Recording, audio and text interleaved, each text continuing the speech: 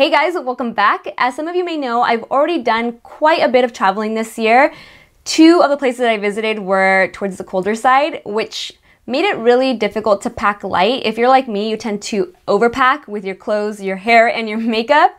So in today's video, I decided to share with you guys what my essential products are for my go-to hair and makeup routine when I'm traveling because I don't like to spend a million and one hours on my hair and makeup whenever I'm traveling. I want to get out and explore the city. So I've sort of developed a routine for a go-to look that I consider to be a little more towards the low maintenance side and doesn't require much, especially when it comes to my hair. I only wash my hair once whenever I'm traveling, or I try really hard to only wash it once depending on how long I'm away for. Because if not, I feel like I waste a lot of time doing my hair. If you guys saw my Anguilla vlog, there's a clip in there where I say I'm not going in the water today because I really didn't want to get my hair wet and redo it because, you know, it can take up a lot of time. So I'm really excited that I partnered with Dove for today's video because they introduced me to their two-in-one shampoo and conditioner, which not only reduces the amount of stuff that I have to bring with me on my travels, but it also gave my hair a really nice finish. So I'm gonna share with you guys in detail how I got my hair to look like this, plus this go-to makeup look that you guys have probably seen me wear on Snapchat a million times whenever I'm away. so if you guys are interested and wanna see how I got this look, keep on watching. All right, let's talk about hair first.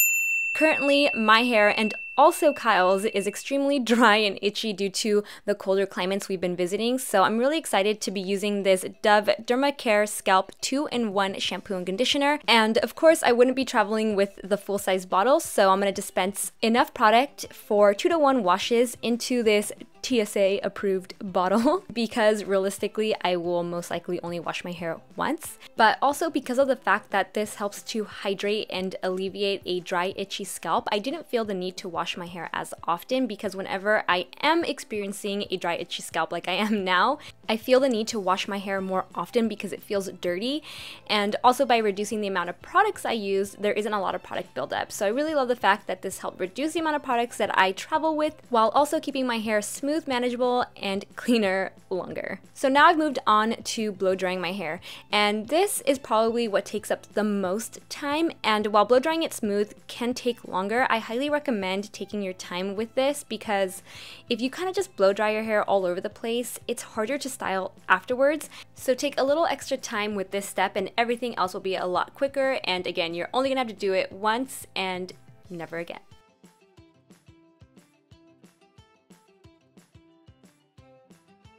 Now, when it comes to styling my hair, I always decide between a curling iron and a straightener. I never pack both. In this case, I've really been loving straight hair recently, so I'm gonna ditch the curling iron and pack the straightener.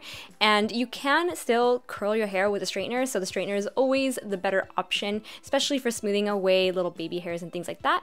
And in order to get a super straight finish that'll last you until your next wash, use a paddle brush like the one I'm using right now to ensure you get out any kinks and waves as you're straightening piece by piece.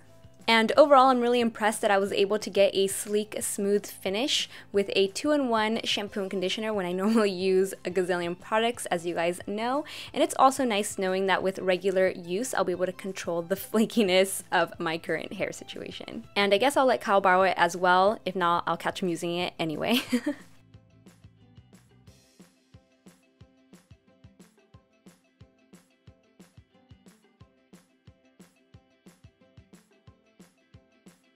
I'm just about done styling my hair. Overall, this took about 20 to 30 minutes. It'll obviously vary depending on your hair length and thickness. This still might seem a little long, but take the time now so you don't have to worry about your hair later. Afterwards, your best friend is going to be dry shampoo.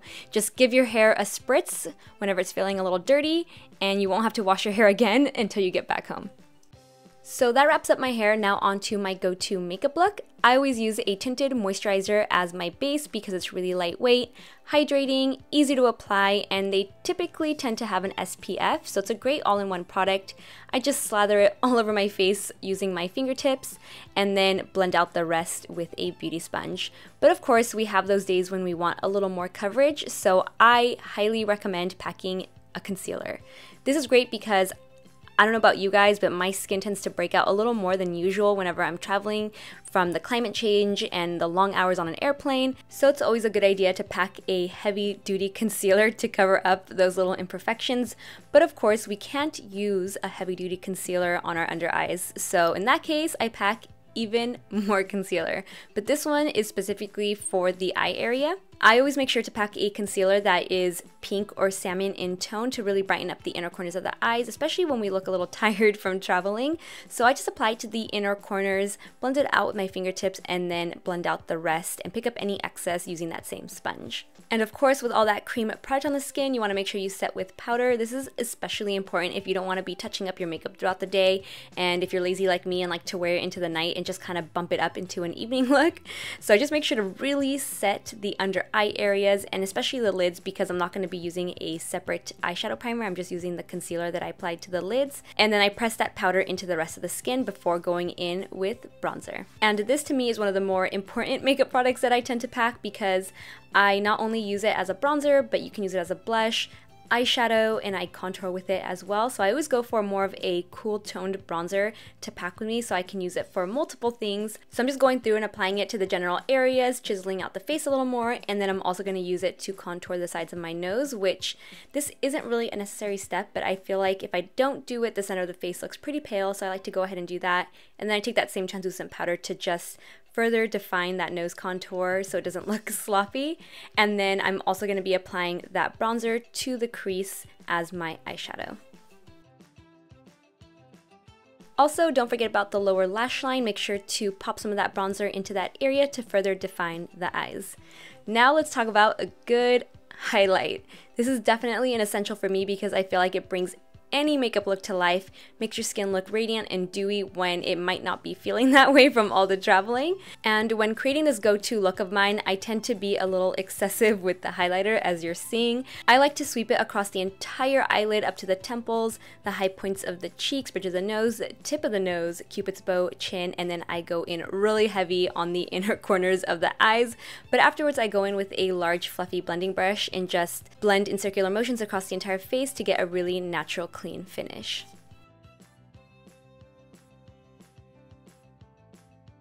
Up next, we have blush. And like I mentioned earlier, you can skip blush and actually use your bronzer as a blush, but when traveling to colder areas, I like the look of rosy cheeks. I think it looks really cute and really natural.